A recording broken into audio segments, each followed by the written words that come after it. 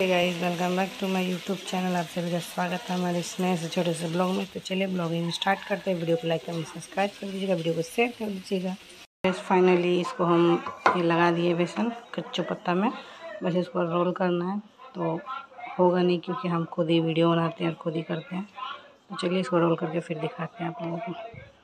तो देख सकते हैं इसको हम इतना रोल कर दिए हैं। बस बाकी का भी करके फिर आप लोगों को देखते हैं हुआ कि नहीं। क्योंकि पूरा ढक्कन तो लगा नहीं, इसको काट के डालना होगा। देख सकते हैं। अभी ये नहीं हुआ है। गरम मसाला बेच रहे हैं इसके लिए। जो भी आप मछली में डालते हैं, वही मसाला आप इसमें भी डाल सकते हैं। कुछ फ्राई भी हो चुका है और इधर कर रहे हैं। और इधर मसाला, जो भी आप मछली में डालते हैं, वही मसाला है। और इधर इसको पलट देते हैं। चलिए वीडियो को लाइक, कमेंट कर चुका है और ये मसाला भी होना चाहिए तो चलिए पानी डाल देते हैं इसमें। आप अपने हिसाब से पानी डालिएगा। और इधर ये दो नींबू का रस निकाल के रख लीजिए हम इसमें उबाल आ चुका है और एक एक करके इसमें डाल देते हैं।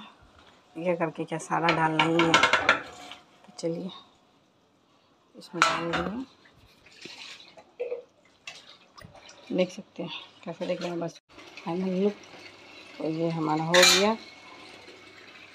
और ये नींबू का रस जो कि हम डाल देते हैं चलिए इसको थोड़ा मिक्स कर देते हैं। और आप लोग देख ही सकते हैं, टूटा नहीं है।